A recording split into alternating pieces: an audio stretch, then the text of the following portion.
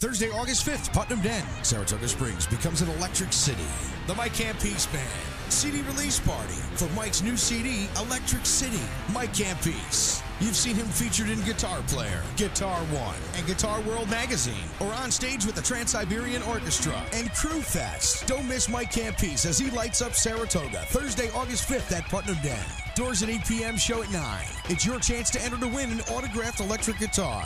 For more info, go to MikeCampese.com.